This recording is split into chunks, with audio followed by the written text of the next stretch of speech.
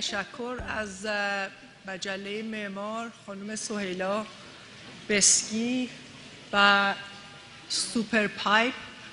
ما امیدواریم که سوپر سوپر پایپ شن دوباره ما رو دعوت کنن. خیلی از ما پذیرایی کردن. انقدر بهمون خوش گذشت که دیگه می‌خوایم خونم بخریم و بیایم. خیلی ممنون از همه جوانان ایرانی واقعا. ما آمدیم اصلا نمی‌دونستیم چه خبره. واقعا هم مدت خیلی طولانی بود که اینجا نبودیم. فکر می‌کردیم حالا شاید یه تک و توکی یه چیزای جالب ببینیم. انقدر چیز جالب دیدیم که اصلا دیگه از گوشه و چشامون چیز جالب داره در میاد.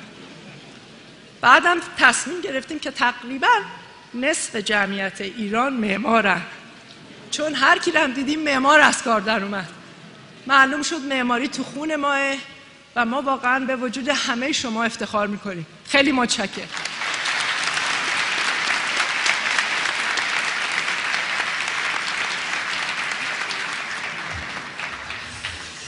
سلام عرض می‌کنم. گیسو جون به من گفتن ما تشکر می‌کنیم از طرف داورا.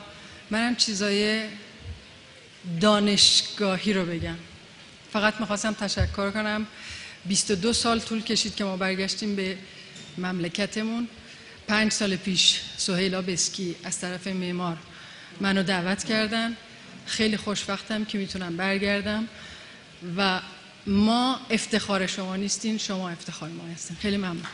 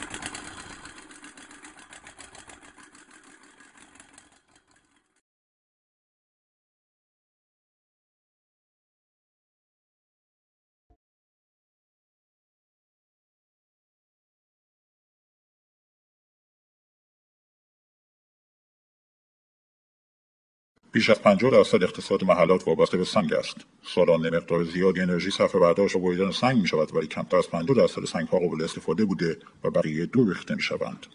این پروژه سعی دارد سنگ های دور ریخته شده را با راه حلی معمارانه بازیافت کند.